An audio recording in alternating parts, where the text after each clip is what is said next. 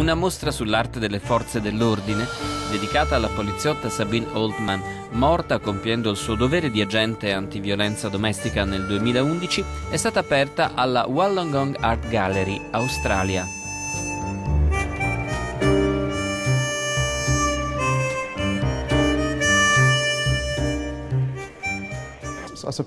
Può sembrare che il binomio arte e polizia non possa conciliarsi, eppure in questo caso è molto significativo, con la missione di Sabine, ufficiale anti-violenze domestiche. Era una donna coraggiosa per tutto quello che ha fatto, per le vittime delle violenze domestiche.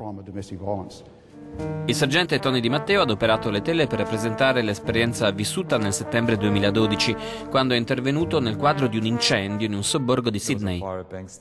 Era scoppiato un incendio a Bankstown, dove una coppia di studenti asiatici perse la vita. Mi ero domandato come avrei potuto intervenire prima e salvarli.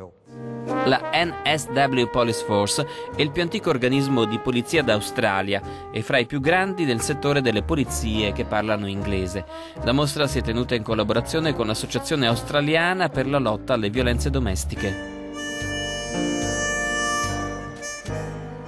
La nostra polizia ha tante persone di talento in molti settori.